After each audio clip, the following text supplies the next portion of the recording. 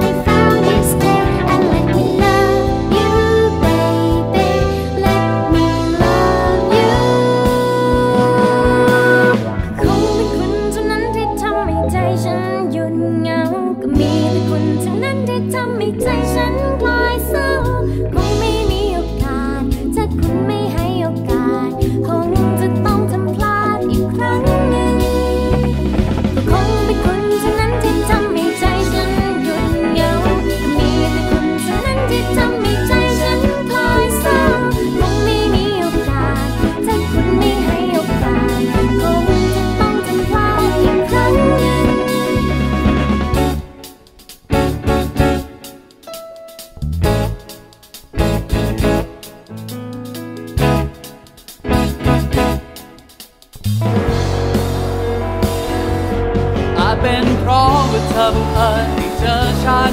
อาจเป็นเพราะว่าเราบังเอิญอยู่ด้วยกัน เพราะที่ยังไม่เคยได้รู้มันเป็นยังไงแหละฉันไม่เคยเข้าใจ เธอมันต้องอยู่อย่างนั้นที่เราไม่คุยกันสักครั้ง วันนี้ก็คงไม่มีใครเข้าใจ วันนั้นเธอยังไม่เคย ฉันก็ยังไม่เคยได้รู้มันเป็นยังไง ที่อยู่ตัวเอง